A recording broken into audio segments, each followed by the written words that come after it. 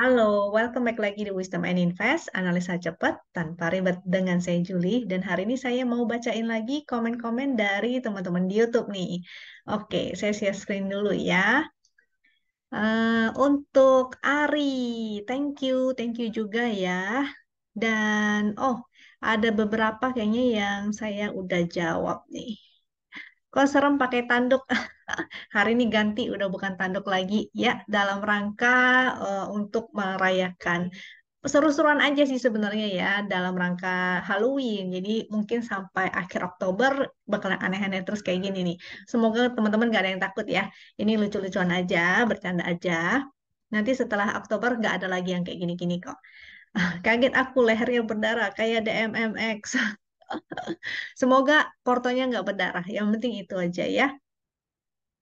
Oke, kelihatannya sih belum ada lagi nih yang request untuk analisa. Paling kemarin sempet ya, Bu Bu Antin Kartini, aku belum bahasin Jeko. Nanti mungkin aku mention lagi Jekonnya ya. Dan saya mau share beberapa saham yang cukup menarik, yaitu terutama di sektor, hari ini kita bahas sektor health, dan beberapa saham yang cukup menarik. Oke? Ya, yang pertama saya mau bahas ini dulu nih. Uh, saya mau share cara menggunakan chart Wisdom and Invest ya. Barangkali ada teman-teman yang baru mampir di sini. Jadi mau lihat dulu bagaimana sih saya menggunakan chart ini. Jadi chart yang saya pakai ini chart buatannya Wisdom and Invest hanya bisa didapatkan di Wisdom and Invest ya. Tidak ada di mana-mana. Nah, cara mendapatkannya ada dua cara yaitu dengan cara berlangganan tentunya menjadi member. Untuk cara menjadi membernya silakan kontak admin di deskripsi di bawah itu ada nomor kontaknya. Yang kedua dengan caranya yaitu menjadi nasabah dari rekanannya Wisdom and Invest. Jadi buka rekening sekuritas ya. Uh, rekanan kita tuh ada empat nih. Sukor Sekuritas, JUC, NH Korindo, dan Investasiku. Linknya juga udah ada di bawah. Tapi kalau teman-teman mau dibantuin, dipandu ya oleh admin, itu boleh juga uh, tinggal kontak aja. Adminnya nomor kontaknya juga ada di bawah nih. Dan pastikan teman-teman besok bisa ikut. Kita ada acara Zoom ya setiap hari Rabu dan hari Sabtu. Uh, kalau yang ikutan hari Sabtu kemarin itu ketemu saya tuh.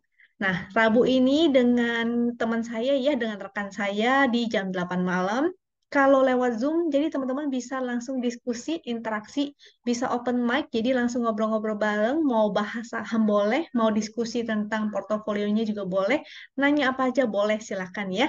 Silakan besok uh, linknya ini biasanya kita share di Instagram, jadi pastikan teman-teman sudah follow Instagramnya Wisdom and Invest dan juga di Telegram. Jadi pastiin sudah bergabung juga ya dengan Telegramnya Wisdom and Invest. Dan cara menggunakan chart win. Oke, waktu hari Sabtu saya sempat share tuh chart win ya, cara menggunakannya dan dan saya sebut ini sebagai metode winners. Apakah itu metode winners? Yaitu kita cari saham-saham yang punya tiga ciri-ciri ini. Dia breakout candle higher high, volume meningkat dan momentum meningkat. Ini contohnya ya, before-nya seperti ini dan ini after-nya.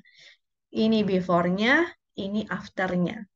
Ini before-nya, ini after-nya. Dan saya akan terus update chart ini uh, untuk beberapa saham kalau yang kebetulan pas ada ciri-ciri ini nih.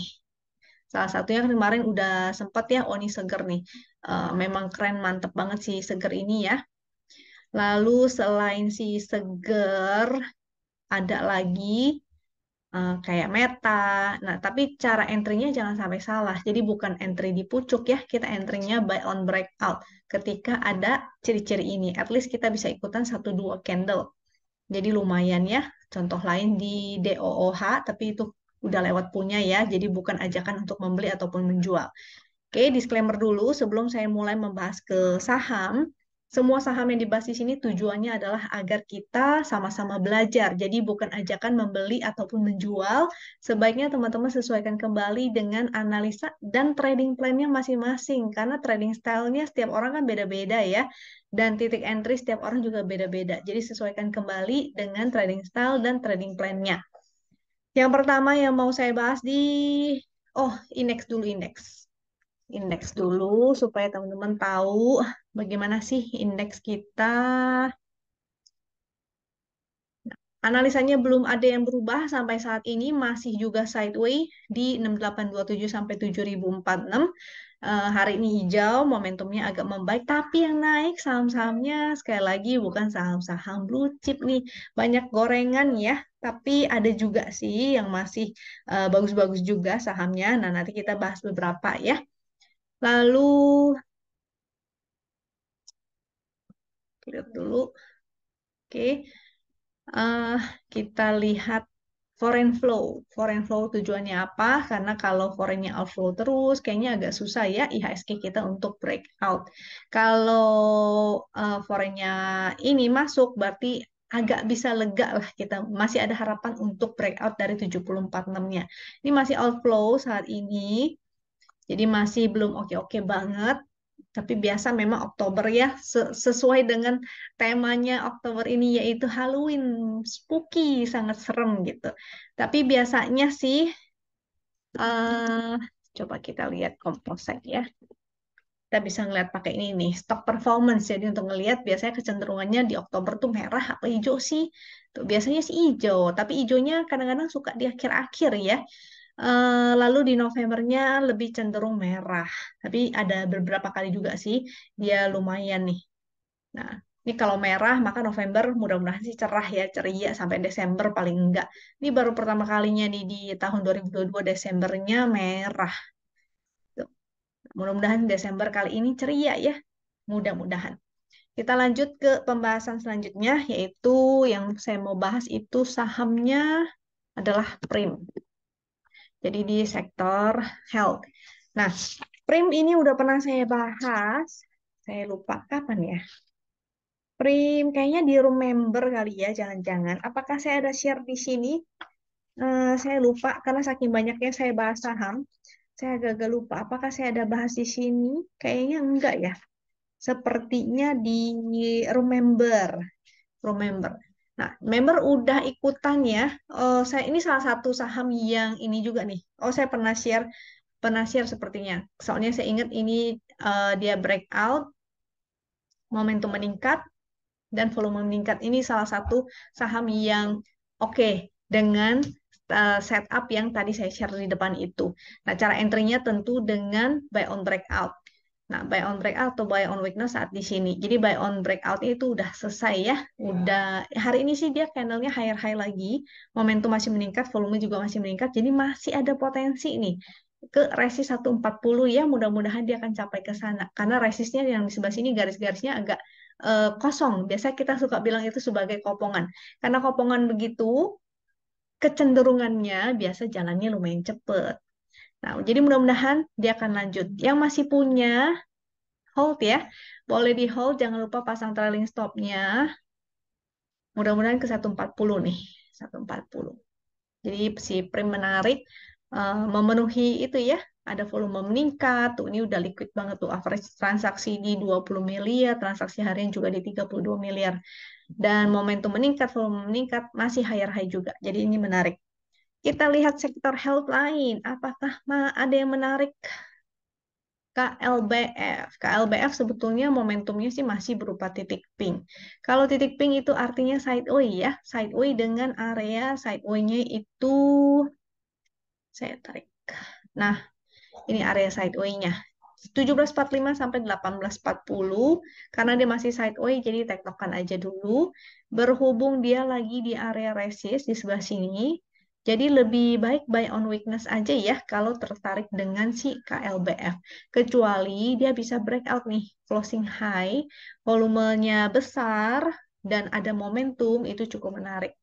Mudah-mudahan bisa lanjut. Tapi di antara sektor health, sebenarnya si Prim yang paling menarik ya dari chartnya. And then, oh ini Richie. Uh, cuma nggak liquid. Sebetulnya menarik ya, tapi nggak liquid. Rata-rata transaksinya masih di bawah satu miliar. Kita lanjut ke Silo.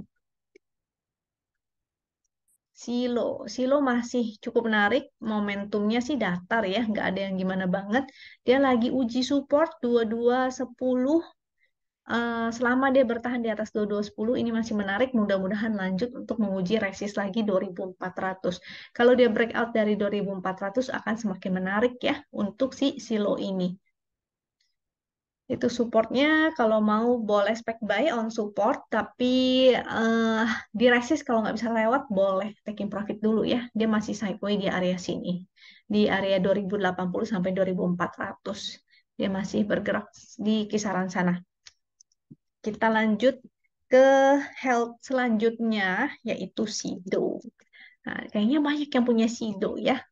SIDO ini salah satunya biasanya uh, dividen hunter nih. Maksudnya uh, investor dividen ya, yang suka dividen biasanya suka dengan si SIDO ini, lumayan.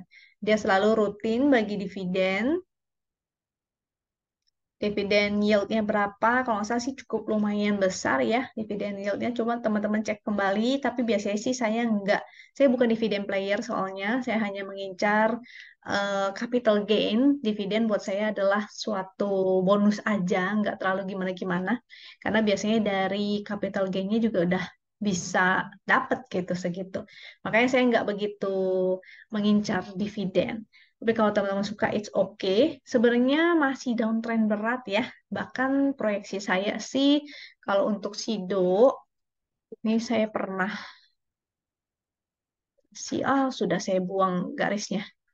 Uh, sebetulnya kalau kita mau tarik Fibo-nya nih, coba ya kita pakai weekly untuk menentukan Fibo-nya atau kita pakai support supply and demand aja ya. Nah, supply and demand uh, lebih menarik tuh di area sini sebenarnya. Under 500. Karena dia trennya udah patah ya. Dia lagi membentuk tren ke bawah, mantul bisa aja. Atau di sebelah sini nih, dikit lagi lah. Nah, area berapa tuh? Sebelah sini. 550. Tuh ya. Berapa tuh low-nya? 575 ya udah mulai mendekati area-area support lah. Sebenarnya cukup menarik. Di sini sebenarnya ada divergen juga, tapi belum valid ya kalau dia uh, belum breakout. Jadi kalau teman-teman mau entry si SIDO ini bisa juga buy on breakout. Ketika dia break dari downtrend lainnya, maka ada potensi untuk dead cat bounce. Masih dead cat bounce sih, karena arahnya masih sepertinya masih turun ke bawah menurut saya. PBV-nya juga uh, masih agak tinggi, saya nggak tahu ya laporan keuangannya apakah masih oke, masih bagus. Teman-teman yang uh, investor mungkin bisa mencari tahu tuh. Tapi kalau sebagai trader, kita analisanya sebagai trader, maka kita entry-nya di area-area support aja ya. Coba kita lihat supportnya SIDO secara horizontal. Di 560 di 560. Ini udah ada inflow sedikit dari foreign, tapi nggak signifikan lah. Menurut saya sih nggak begitu signifikan. 560 atau di area tadi itu yang saya bilang, ya 550, bahkan di area di bawah 500. Bisa jadi dia akan ke sana. Nah, jadi mendingan di area-area support. Menurut saya sih lebih, lebih oke, okay. apalagi kalau dia sampai PWV 2 misalnya. Karena PBV-nya 4 ya, setahu saya si Sido ini lima kali malah, lima kali dengan pernya 19 kali. Jadi cukup tinggi ya. Meskipun NPM, ROE, dan ROA-nya itu cukup besar. Tapi kalau seandainya terdiskon sampai ke area sini, maka uh, cukup menarik. Tuh, di area di bawah 500 mudah-mudahan. Nah, itu tapi tetap ya, menganalisa kembali teknikalnya. Untuk sementara dia berpotensi untuk mantul untuk sementara.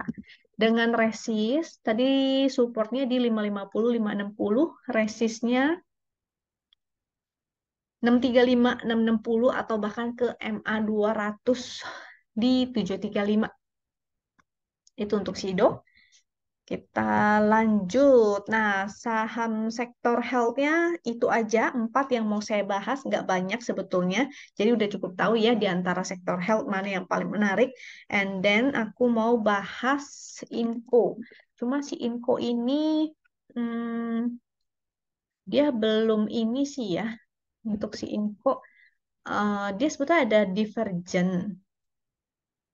Divergen di sebelah sini menarik, tapi hanya menarik kalau dia mampu breakout artinya berpotensi untuk at least dead cat bounce ke area 6125. Jadi untuk fast trading aja ya. Kalau dia udah tercapai target, udah nggak bisa naik lagi, maka jangan lupa untuk taking profit. Ini menarik, tapi hanya untuk fast trading aja karena secara saya nggak tahu ya nikelnya saya lupa cek. Coba teman-teman cek apakah nikelnya juga lagi mantul.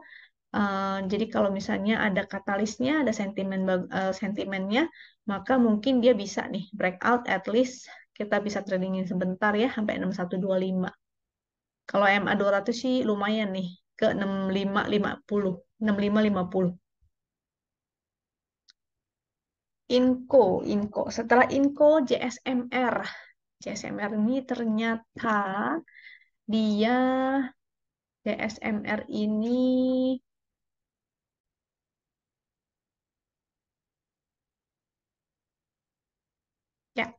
CSMR ini menarik. Dia hari ini breakout lagi ya dengan momentumnya jadi ada. Resist 4850-50. Ini masih oke. Okay. Cuma untuk entry mungkin sebaiknya buy on weakness aja. Di sini ada support nih. 4540 atau 4600 ya. Itu di area sana cukup menarik. Coba kita cek weekly-nya. Ini juga ada foreign flow. Weekly-nya juga masih uptrend. Ini di monthly. Support monthly sih di 4.300 ya, cukup jauh nih. Uh, dan dia ada foreign flow soalnya. Jadi cukup menarik.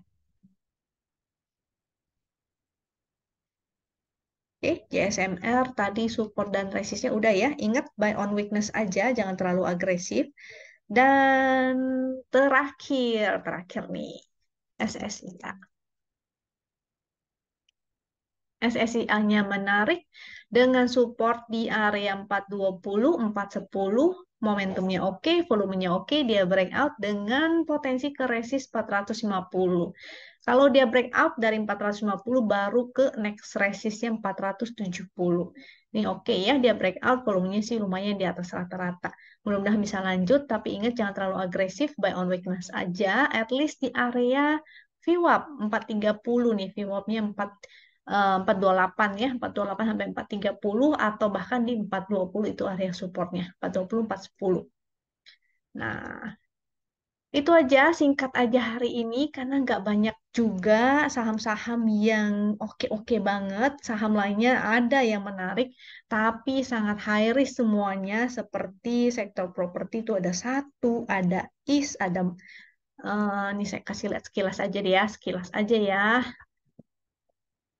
Ini satu, ada satu tapi nggak nggak liquid tuh si satunya ini tidak liquid rata-rata transaksi di 2,7 miliar volumenya menarik cuma hari ini arah kayaknya ya e, momentum oke okay, volumenya oke okay, dia breakout kalau pakai haki kita lihat ini biasa untuk fast trader nih. Fast trading pakai si haki karena kelihatan berapa banyak yang haka dan berapa banyak yang haki juga ada frekuensi analyzernya.